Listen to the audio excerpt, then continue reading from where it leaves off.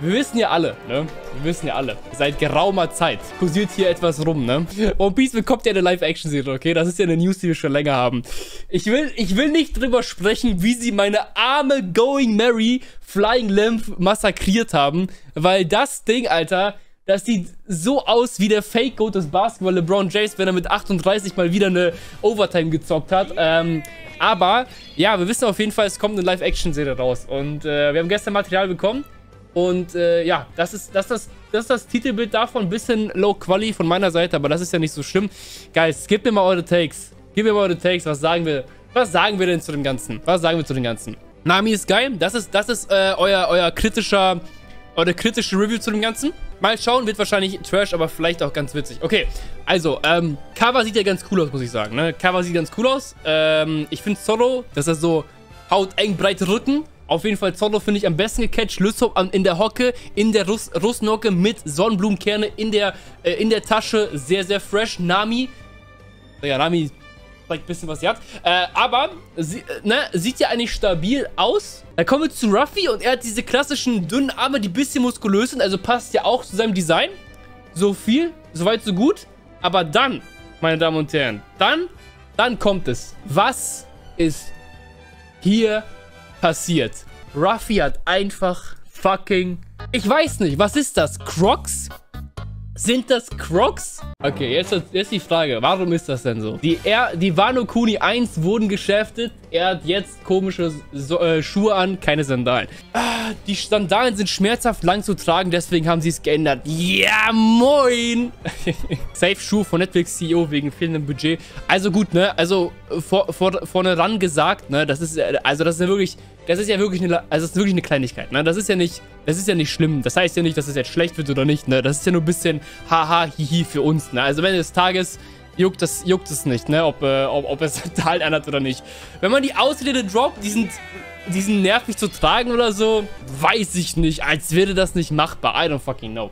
Aber ja, sieht, sieht auf jeden Fall ein bisschen, bisschen nach, was, nach was aus. 2023, also es kommt noch dieses Jahr, wir wissen aber nicht wissen aber nicht wann, wie es aussieht, ne? Ich bin immer noch ein bisschen zwiegespalten. Also ich bin ja nicht so ein All... Ich bin, ich bin persönlich nicht wirklich sold von der Idee, One Piece Live-Action zu machen. Und bis jetzt das Material, was wir gesehen haben, äh, hat mich jetzt auch nicht so des äh, Gegenteils überzeugt, ne? Ich glaube, One Piece ist auch sehr, sehr schwierig in äh, Real-Life-Form zu bringen. Das heißt aber natürlich nicht, dass ich die, dass die Serie dann rauskommt und ich sie sofort mit dem Auge sehen werde, dass ich sie hassen möchte. Das nicht. Ne? Also ich werde da natürlich ein normales Auge drauf haben und dann mein, äh, meine ehrliche, ehrliche Meinung dazu geben. Äh, ich glaube im Endeffekt, selbst wenn es reinsagt, wird es in der Legacy von One Piece nichts ändern. Ich glaube nicht, dass es einen großen Impact hat. Ich meine, wir reden auch heute nicht über Dragon Ball Evolution. Ja, es ist eine andere Zeit, aber ich glaube nicht, dass das einen großen Impact haben wird. Und über die Schauspieler kann man nichts sagen, weil ich weiß nicht, ne? Guck mal, so nur weil die nicht in vielen Sachen waren, kann man ja nicht sofort davon ausgehen, dass die Trash sind. Es ist ja auch ganz gut, dass es neue Gesichter sind, weil so ist es einfacher für uns, äh, die Charaktere mit den Schauspielern zu assoziieren, weil, ich sage euch ehrlich, so ein, äh, so ein Tom Holland, Ruffy wäre schon ein bisschen weird gekommen, ne? Aber trotzdem, ich sag's euch, Sandalen ist eine Sache, okay? Sandalen sind eine Sache. Aber wenn die dann kommen und sagen, Bro, wir können bei Zorro nur zwei Schwerter-Stil machen, weil er kann das Schwert nicht im Mund halten, dann geht's aber los, Digga. Dann geht's aber los. Ich sage es euch, oder? Keine Ahnung, Zorro kann Bandana nicht tragen, weil sein, sein Blut im Gehirn wird abgekackt. Abgekappt. Kappt. Dann, dann gibt's wirklich Schwierigkeiten. Aber Stand jetzt, Sandalen-Skandal, Sandalengate, ist okay. Ist nicht schlimm. Überzeugt dich selbst von den Schauspielern. Aber, aber wie? Ich warte, ob es rauskommt. Ich habe eine Serie geguckt mit diesem Ruffy-Schauspieler, da fand ich den ein bisschen trash. Welche Serie war das? Das war diese eine, die auf Netflix gedroppt ist und dann ganz oben war für eine Zeit lang. Mag die Schauspieler nicht, aber von den CGI-Effekten kann es wirklich gut werden in der heutigen Zeit. Ja, weiß ich nicht. CGI ist das so eine Sache. Ne? Also, klar, wenn du dir so Marvel-Zeugs ansiehst, dann auf jeden Fall. Aber, Digga, also, das Ding kommt dieses Jahr raus. Wir haben nicht mal einen Teaser-Trailer bekommen, ne? Das ist für mich schon ein bisschen besorgniserregend. Dass wir nicht was...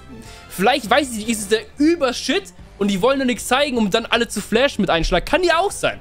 Kann ja auch sein, aber bis jetzt äh, ist schon ein bisschen besorgniserregend. Wenn Zorro, Zorro, in dieser Serie nicht 10 Liter Blut verliert, dann Trash. Ja, ich schwöre, Zorro muss aber wirklich Blut, äh, Blut raus, raushauen. Auf jeden Fall, ganz Zeit. Hä, Zorro kann doch auch mit zwei Schwertern kämpfen. Ja, aber, aber als wäre das in der heutigen Zeit nicht machbar, Alter. Baller ihn von mir aus ins scheiß CGI-Schwert rein. Für uns, guck mal, für uns ist Zorro, für uns ist Zorro ein etablierter Charakter, den wir lieben und den wir über so viele Jahre lang kennen und so, wisst ihr? Aber das, was Zoro am Anfang auch so geil gemacht hat, war einfach, dass er wie so ein Holzkopf mit drei Schwertern gekämpft hat. Das gehört schon dazu, deswegen möchte ich das nochmal sehen. 20 Millionen Dollar pro Folge, mehr als Game of Thrones Staffel 1.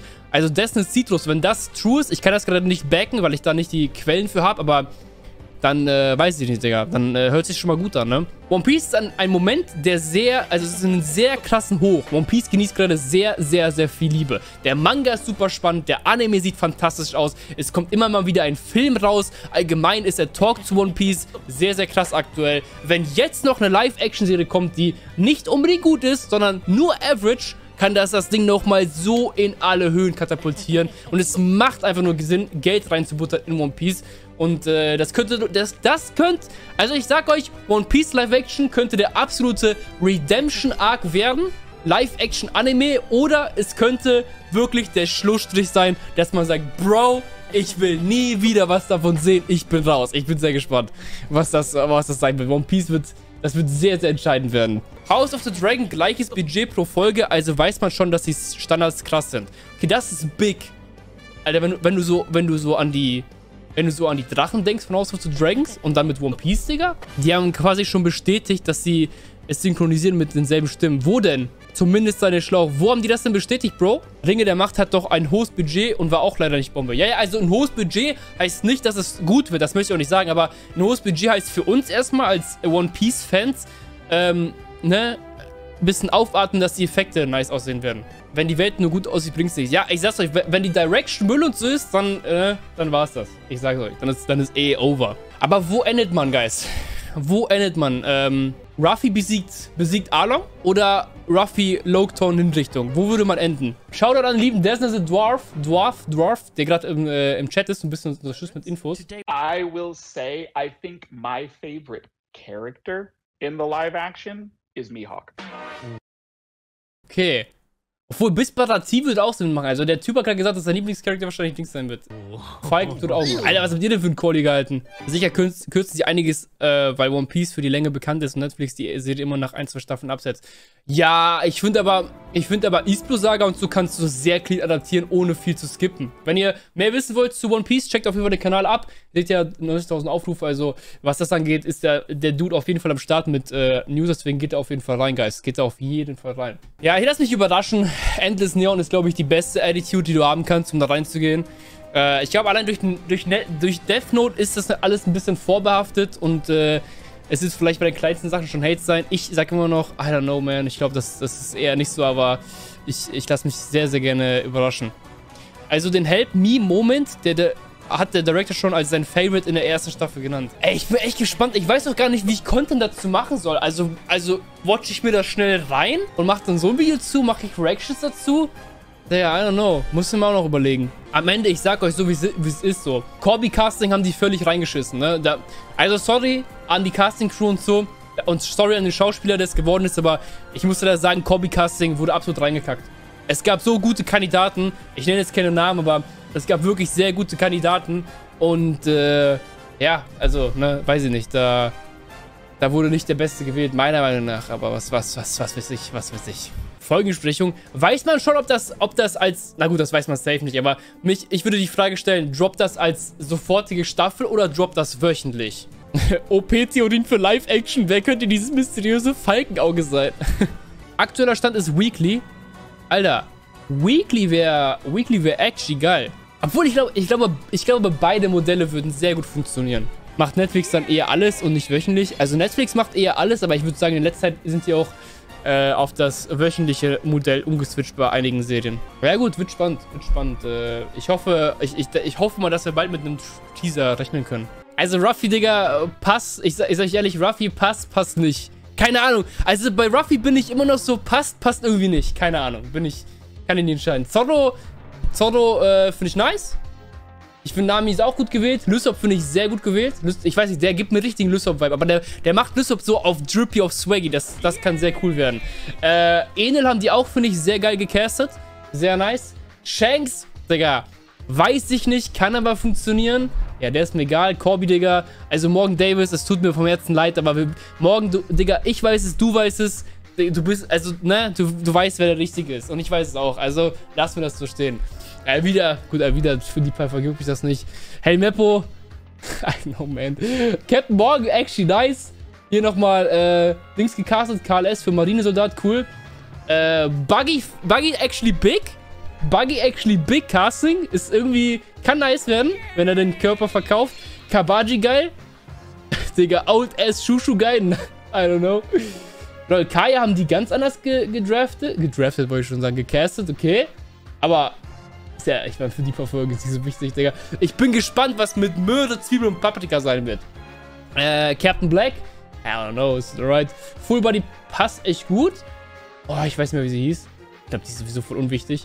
Äh, ja, Jeff, fühle ich, fühle ich. Mio kann ich noch nicht so einschätzen. Along, ja gut, da wird ja wahrscheinlich noch kompletter Fischskin kommen. I don't know. Das gleiche gilt für den Homie. Namis Schwester. Oh nein, ich dachte, dass sie für Gab Arnie nehmen würden. Leider haben sie Arnie nicht genommen.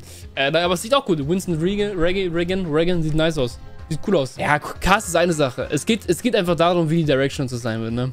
Aber was ist denn, ist denn im Casting Reel irgendwas drin, was wir noch nicht gesehen haben? Ah, okay, er hat hier eine kleine Compilation von den Schauspielern. Okay, da gucken wir noch ganz schnell rein und dann bin ich das ganze Thema hier. Also diese Emily Root finde ich sowieso echt gut gecastet äh, für, für Dingens, für Nami. Und ja, ich weiß, dass die horny-Typen auf Twitter wieder schreiben werden, Körbchengröße passt nicht und so. Aber ganz ehrlich, Digga, wenn du den Take hast, ey, bist du auch komplett lost. Dann, äh, dann kann ich dir auch nicht mehr helfen dann äh, weiß ich auch nicht, Digga, wirklich. Also, wenn wir uns drüber, drüber aufregen, dass irgendeine Bu äh, Brust, Brustgröße nicht passt, Digga, ist alles verloren.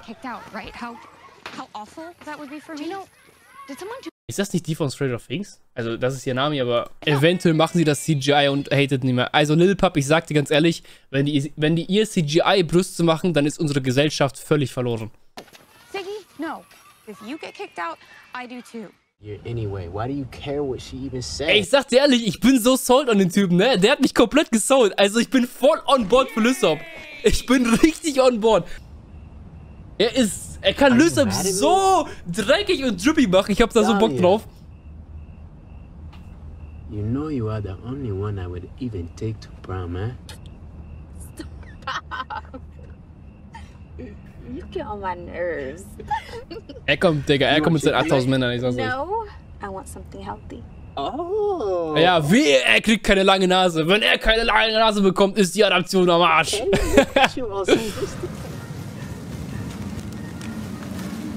Boah, ich, ich glaube, er kann wirklich einen sehr, sehr drippy, coolen äh, Sanji spielen. Glaube ich schon. Ich glaube, er könnte, so, ich bin gespannt, wie die das auch mit Zigarette machen werden und so, aber er hat das Potential dazu.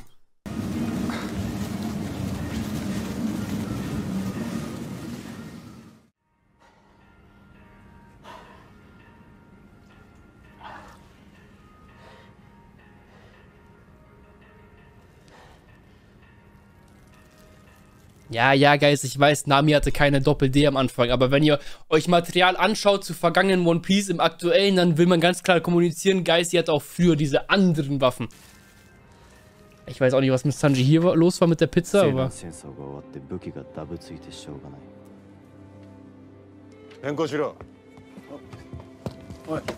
Digga, Mugen Train Live-Action-Adaption oder was? やめておけ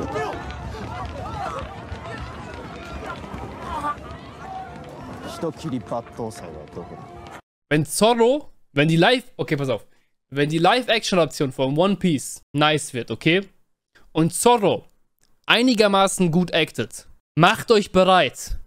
Ihr, ich sag euch jetzt schon mal, versucht jetzt eine Freundin zu finden. Weil post One Piece, ihr werdet es nicht schaffen. Die Frauen auf Twitter und überall, die werden nur noch auf Zorro abgeht. Ich sag's euch, für, für, für ist vorbei, ist vorbei, Guys. Actet jetzt, wo ihr noch Zeit habt. Wenn Zorro kommt, es ist over. Das Beste an Zorros Schauspieler ist, dass sein Vater ein bekannter alter Schauspieler in Japan ist, der früher viele Samurais gespielt hat. Digga, mit historischem Hintergrund. Ya párale, ¿no, Mandril? O te parto el cogote. Déjalo en paz, Cristina. ¿A ti quién te metió? Enana de mierda. Also, Ruffy weiß ich nicht. Da haben viele im Vorfeld gesagt, dass sie es sehr fitting finden, ich fand, äh, ich weiß nicht, aber Ruffy ist auch sehr schwer zu casten, weil Ruffy, ein Digga, Ruffy ist so ein guter Charakter. Äh, ich hatte diese eine Serie auf Netflix von dem Typen gesehen, da fand ich den echt nicht gut. Ähm, aber natürlich heißt es ja nicht, dass er jetzt in dem Live-Action-Ding auch schlecht sein muss, ne? aber da fand ich den echt nicht so gut. Pégale, Pedro. A ver. Pégame, Foforito.